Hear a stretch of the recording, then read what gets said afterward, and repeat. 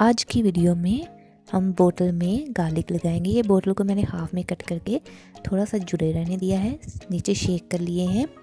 तो इसको हम इस तरह से टांग सकते हैं। इसमें मैं मिट्टी डालूँगी, जो कि मैंने पहले से मिक्स करके रखी होती है, जिसमें नॉर्मल सॉयल फर्टिलाइज़र कोकोपीट और थोड़ी सी रेत डाली हुई है। तो इसको मैं इसमें भर दूँगी। दोनों इसकी बोतल की हाफ़ हाफ़ साइड में।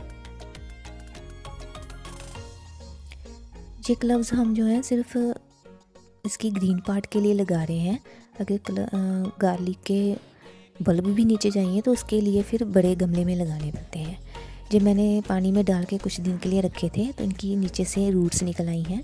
तो बस हम इसको एक एक दो दो पीस को इसके अंदर होल करके हम लगा देंगे। इसे मैं यहाँ पे हैंग कर दूँगी। हमने कपड़े सुखाने के लिए स्टील की रोड्स लगवाई हुई हैं फिटिंग करवाई हुई है। वैसे इस पर ज़्यादा वेट नहीं डालते लेकिन मैंने कुछ प्लांट्स इसमें हैंग किए हुए हैं। इस तरह से मैं इसको टांग दूँगी। ये कुछ और प्लांट्स भी मैंने इसमें लगाए हुए हैं। कुछ दिनों बाद का जो रिज़ल्ट है वो मैं आपके साथ शेयर करूँगी।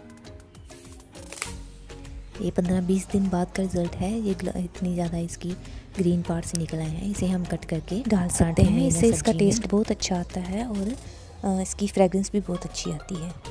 इसी तरह से हम कुछ और लगा लेंगे। ये मेरे पास पड़े हुए हैं, इसको मैंने पाँच दिन के लिए भिगो के रखा था। तीन चार दिन में रूट्स निकल आती हैं।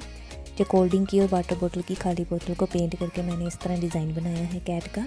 ये रखे हुए बहुत सुंदर लगते हैं। इसमें मैं अपनी सॉइल मिक्स डालूँगी, जो बना के रखी होती है। और बस इसमें हम तीन चार क्लब्स एक में लगा लेंगे और तीन चार दूसरे पॉट में लगा लेंगे। छोटे इसमें।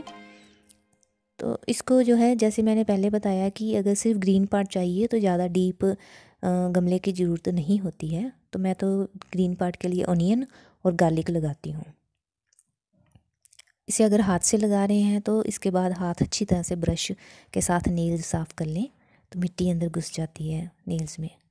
फ्रेंड्स प्लीज़ मेरी वीडियो अच्छी लगी हो, थोड़ी सी हेल्पफुल लगी हो तो प्लीज़ इसको सब्सक्राइब कीजिए मेरे चैनल को और कमेंट करके मुझे बताइए आपको कैसी लगी। लाइक कीजिए और मुझे मोटिवेट कीजिए फ्रेंड्स आप भी अपने घर में इस तरह से छोटे छोटे प्लांट्स लगाएँ और फ्रेश सब्ज़ी का मज़ा लीजिए। Thank you for watching my video friends